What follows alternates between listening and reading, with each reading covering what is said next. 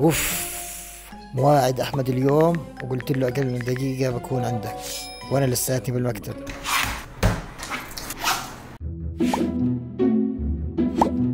وال مش قلت لك أقل من دقيقة؟ خلينا اليوم ناخدكم معنا لنعيش تجربة يوم الاقتراع. في واحد من المراكز ال 95 النموذجية اللي تجهزوا لتسهيل العملية الانتخابية للأشخاص ذوي الإعاقة. لاحظت من البداية شغلات عجبتني. منها وجود متطوعين مرشدين ليستقبلونا ويساعدونا ما علينا. دخلنا ولقينا العلامات الأرضية لإرشاد ذوي الإعاقة البصرية وضعاف البصر مثل صديقتنا سارة.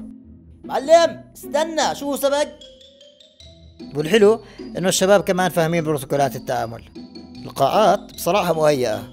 خلص أحمد وانتخب بكل سهولة. وبنفس الوقت سارة وصلت للقاعة. ساعدتها رئيسة اللجنة حتى تكمل العملية الانتخابية بكل سرية وشفافية وهون اجى دوري يا كبير. أخذت أوراق الاقتراع عبيتهم حطيت الورقة الأولى والثانية وهيك بنكون خلصنا. بصراحة العملية كانت أسهل بكثير من ما كنت متخيل. يعني ما لكم حجة ما تنتخبوا سلام. الهيئة المستقلة للانتخاب.